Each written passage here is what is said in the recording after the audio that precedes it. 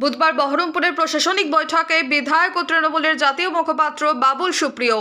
এদিন সকালেই বহরমপুরের প্রশাসনিক ভবনে বৈঠক করেন তিনি। বৈঠকে উপস্থিত ছিলেন West Bengal commission for protection of child রাইটসের chairperson Ananya Chakraborty, Kolkata বিধানসভার স্ট্যান্ডিং কমিটির বিশেষ প্রতিনিধি দল, মুর্শিদাবাদ জেলা শাসক সহ প্রশাসনিক কর্তা ব্যক্তিরা। গত মঙ্গলবারও স্ট্যান্ডিং কমিটির প্রতিনিধি দল পরিদর্শন করেছিলেন একাধিক সংশোধনাগার, মহিলা থানা। এদিন বৈঠকের পাশাপাশি বাবুল সুপ্রিয় বহরমপুরে কেন্দ্রীয় সংশোধনাগারেও যান। সেখানে পরিদর্শন করেন বাবুল সুপ্রিয়কে বিশেষ সম্মাননা জানানো হয়। যদিও বৈঠক প্রসঙ্গে এদিন কোনো প্রতিক্রিয়া জানাননি বাবুল সুপ্রিয়। মধ্যবঙ্গের সমস্ত খবরের দ্রুত আপডেট পেতে সাবস্ক্রাইব করুন আমাদের ইউটিউব চ্যানেল মধ্যবঙ্গ নিউজ। সমস্ত খবরের দ্রুত নোটিফিকেশন পেতে বেল আইকনে ক্লিক করুন।